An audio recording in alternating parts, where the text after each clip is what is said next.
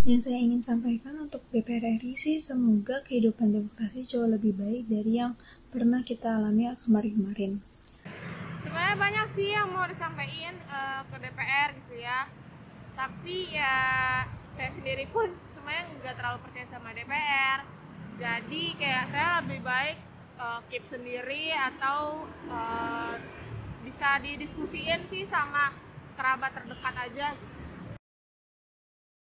tindakan yang diharapkan untuk aspirasi anak muda dari DPR RI sih semoga DPR RI bisa menarik anak-anak muda yang bisa membawa perubahan bangsa ke arah yang lebih baik. Ya sebenarnya uh, kalau misalnya DPR mau dipercaya lebih baik sih uh, bertindak lah ya sesuai dengan apa maunya masyarakat gitu. Jadi jangan aspirasi masyarakat itu cuma didengar sama ditanggapin aja tapi lebih kayak ya lakuin lah gitu apa yang jadi keinginan masyarakat gitu sih